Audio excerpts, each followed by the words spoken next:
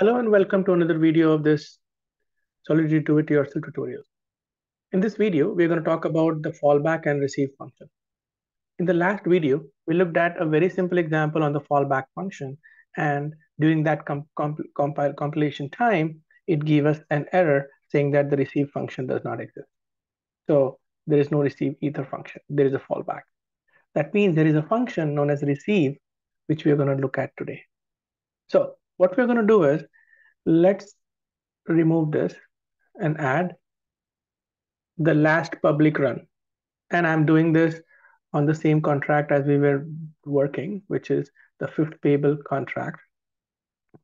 And then I'm going to say receive external payable. So receive is a function which is which can only exist once and it is used to get deposit ether from any other place. So it receives ether. It can be only one in the contract. And if I look at the Solidity 0.62 documentation uh, or whatever documentation on Solidity, it says that a contract can have only one receive function using receive external payable without the function keyword. And it needs to be external.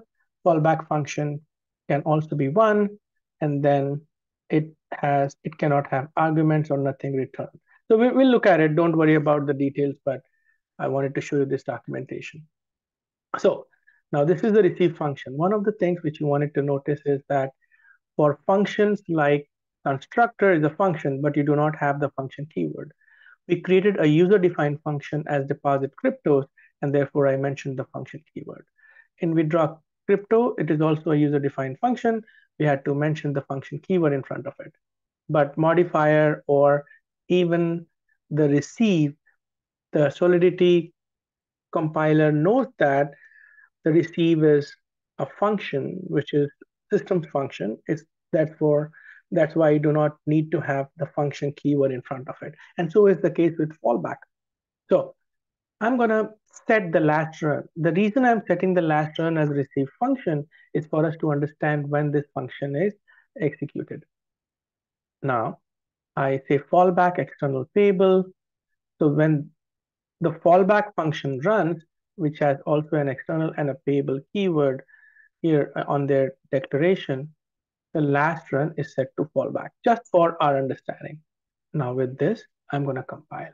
You see that the warning has disappeared. Obviously, we got the receive function. We go back in here and deploy the contract. Once the contract is deployed, I'm going to do a very simple regular transaction of depositing 100 Finney to the contract, which is 0.1 Ether.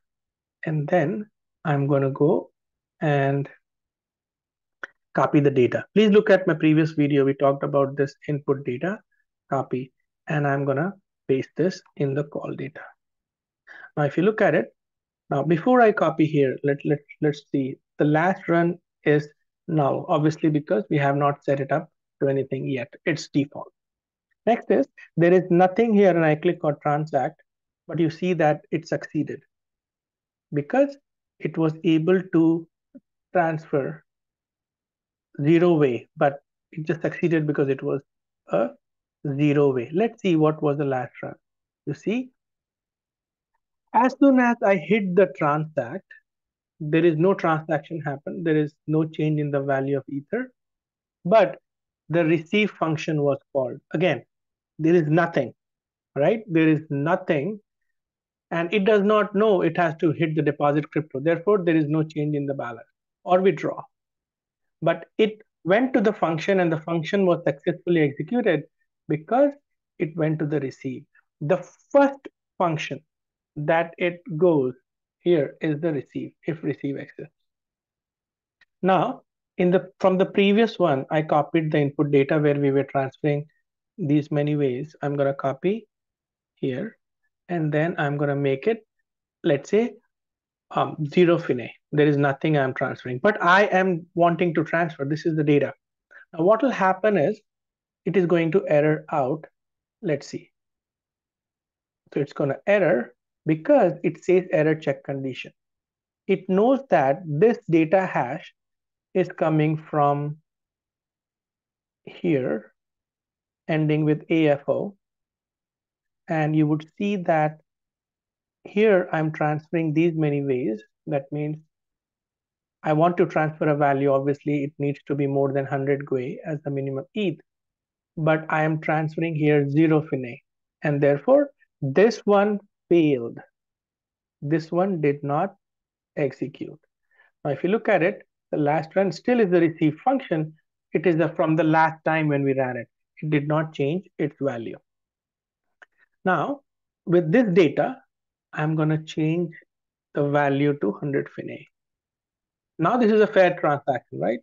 If I say transact, it is a regular transaction. There is no change. And you would see that the last one still is not changed. It's the receive function because it was set two transactions ago. Now when I mess it up, I just say some random alphanumeric and I say transact. The call data should be well, okay. So I'm gonna make it some random number and say I transact. You would see that it went through, but there is nothing transferred, obviously. We ended up paying gas fees too. Let's see the last run.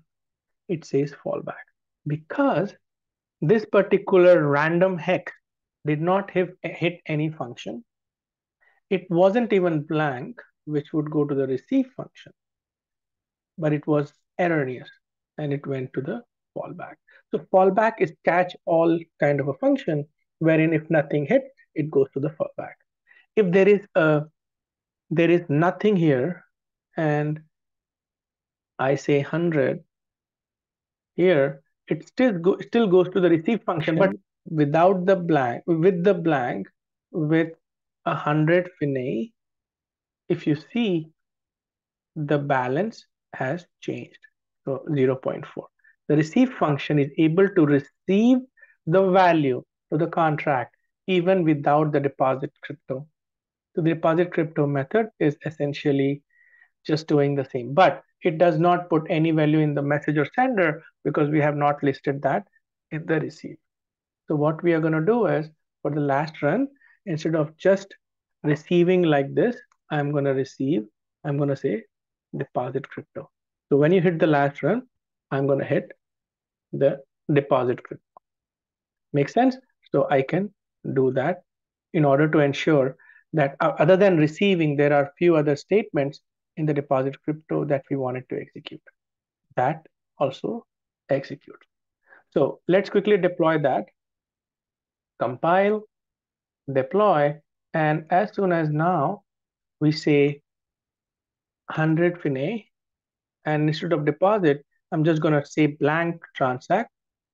It changes the balance because it goes to the receive and it runs the deposit cryptos. And now if I say from address zero, you would see that the address exists. And if I paste the same address over here, you would see that these many weis were transferred. So this is the functionality of fallback. And any, any erroneous data, if I say transact, it is going to be the fallback function. I hope this was clear. Um, thank you for watching.